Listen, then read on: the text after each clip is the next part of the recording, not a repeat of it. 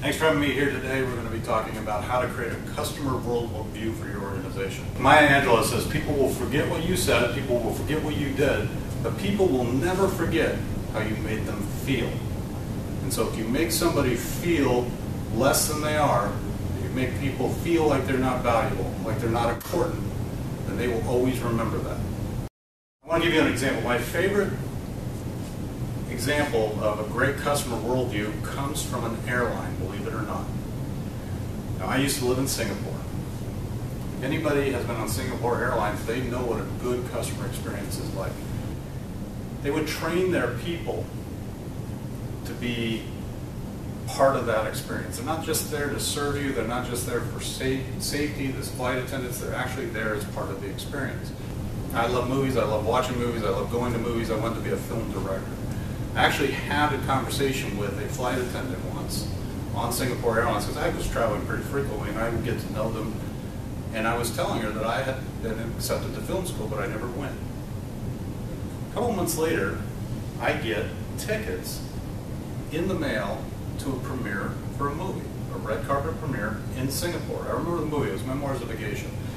They didn't expect anything, they didn't sell anything, they just knew somehow that I would appreciate this experience. How did they know that? Because she must have made note of this. She may, must have understood that this would be something that would be interesting to me. So after our conversation, she went and recorded it in their database somewhere. And they recognized that I would be very interested in going to this movie. I will never fly any other airline if I can help it than Singapore Airlines. Unfortunately, I no longer live in Singapore and I'm relegated to other less interesting airlines. A lot of people, companies say, focus on customer service. Is that enough? I can say, no, it's not, because what you're really looking at is, are we giving a great customer experience? What's the difference? Well, there's a couple of differences. First of all, great customer spirit experience is about anticipating the needs of the customer and meeting them before they expect it. Another great company who anticipates the needs is Disney. Disney is very focused on having a great experience. They push their people to provide a not only consistent experience, but a fantastic experience. However, according to psychologists, happiness is based on what is the last thing you remember in an experience.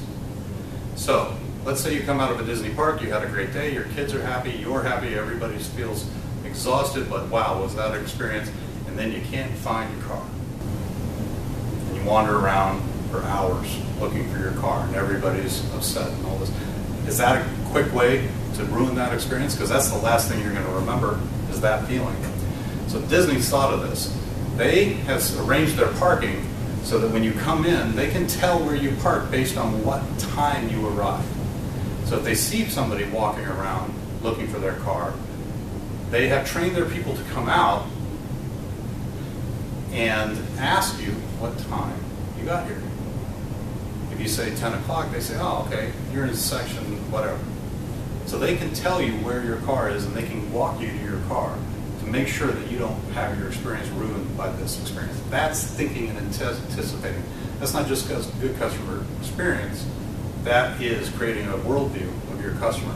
Take a few minutes, think about your business, think about all of the possible ways that you could reduce the value of the experience your customer is having and then think to yourself, how many of them are you already doing?